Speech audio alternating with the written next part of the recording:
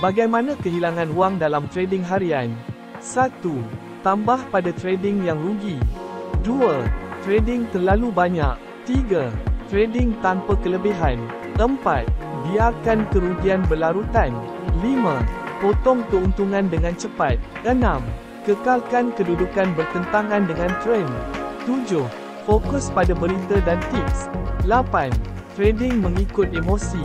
9. Tidak menyimpan jurnal trading. 10. Masuk lewat dalam pergerakan. 11. Cuba pulihkan kerugian dengan cepat. 12. Tiada backtesting. Beritahu saya di komen. Bagaimana anda kehilangan wang dalam trading?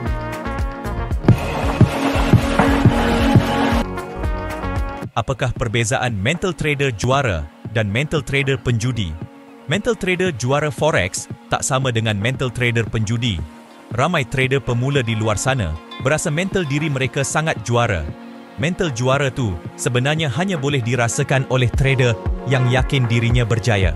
Tetapi sebenarnya mental mereka adalah mental trader penjudi.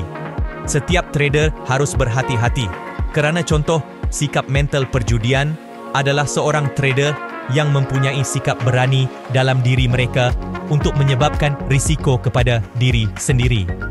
Seakan-akan mereka dah yakin mereka akan menang suatu hari nanti. Melainkan seorang trader itu tidak mudah berputus asa. Mereka tetap teruskan, teruskan dan teruskan. Kebanyakan daripada trader selalu berfikir, selagi mereka berani mengambil risiko, suatu masa nanti mereka akan dapat balik duit mereka. Itulah mental seorang penjudi. Banyak sangat trader-trader di luar sana mempunyai mindset macam ni. Banyak para motivasi dalam dunia trading yang mengajak para trader bahawa dengan trader adalah jalan untuk hidup supaya mereka akan terus trade dengan berani.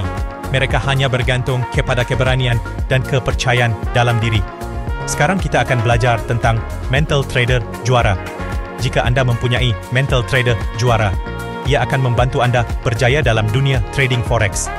Untuk menjadi mental trader juara, anda harus mempunyai watak yang berani dalam diri dan dapat menilai risiko yang akan terjadi. Mental trader juara juga terdiri daripada trader yang sudah terbiasa dengan loss dan profit market. Mental trader juara adalah trader yang pandai mengawal diri dalam melakukan aktiviti penilaian. Ada tiga perkara yang boleh disebut sebagai mental trader juara. Pertama, berani tapi pandai membuat pertimbangan risiko yang sesuai. Kedua, terbiasa dengan kerugian dan keuntungan. Ketiga, mampu mengawal diri sendiri. Okey, sampai sini saja.